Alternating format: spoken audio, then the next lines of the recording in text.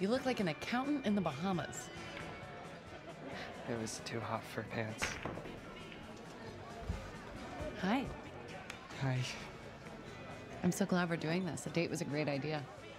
Am I allowed to be here? Oh, yeah, I know the owner. It's fine. It's just that I'm not 21. That doesn't matter here. There she is, the Flash. What do you want, Maddie? Uh, a Long Island iced tea for me, and Pepsi, please. We only have Coke. Oh.